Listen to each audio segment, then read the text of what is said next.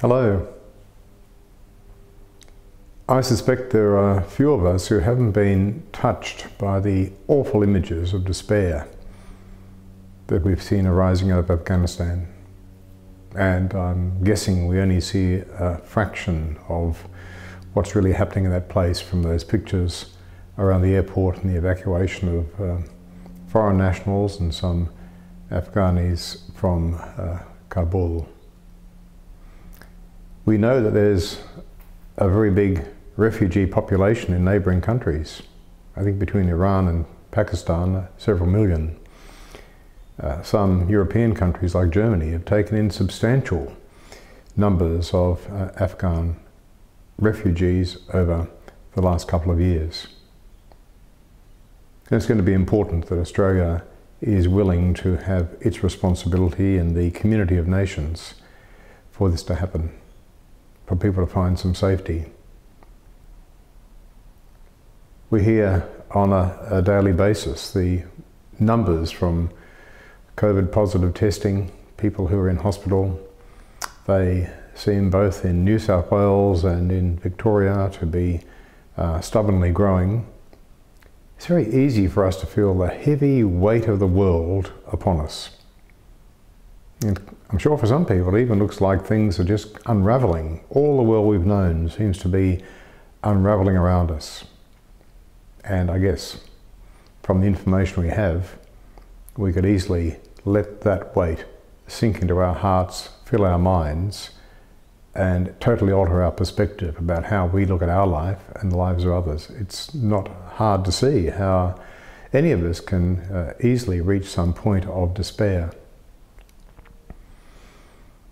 I found that reflecting on some parts of uh, the book of Isaiah to be a very productive countermeasure to that natural human tendency.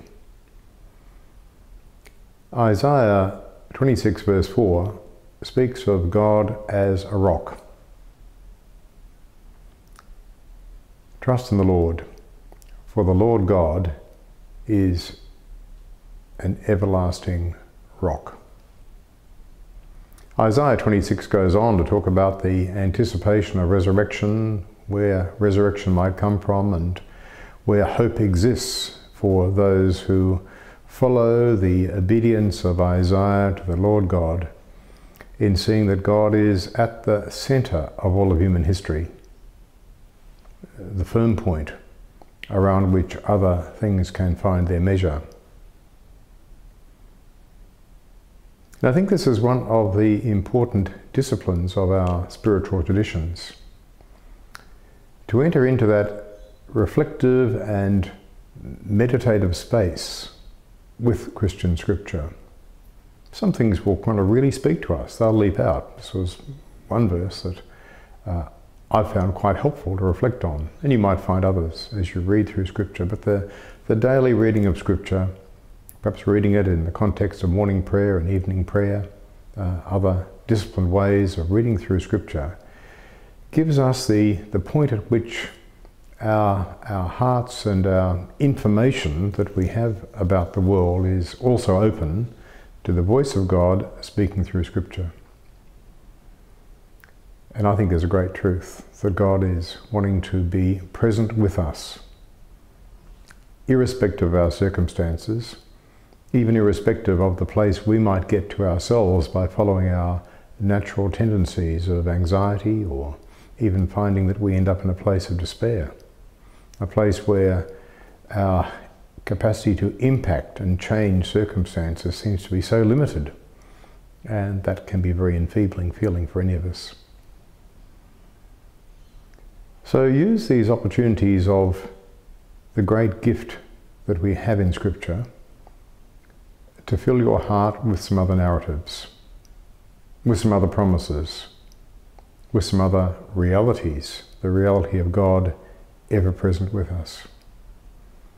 And this metaphor of God being a rock, Christ being a foundation stone. There's many examples of that through Scripture. But however you might read that, and in whatever part of Scripture you might read it, even whatever part of our hymn tradition or singing tradition, you might find those metaphors at use. I think it's good for us to find that rock at the heart of our existence, that firm truth which doesn't change with the changing things of the world, that point from which we can answer our human tendencies to feel diminished, to feel des desperate, even to feel that our anxiety is so crippling. God has a continuing purpose for us in the life of His church, a continuing purpose for us as a blessing in the world. So may the Lord Jesus bless you, watch over you, keep you, and protect you in all of the changing circumstances of life this day and evermore. Amen.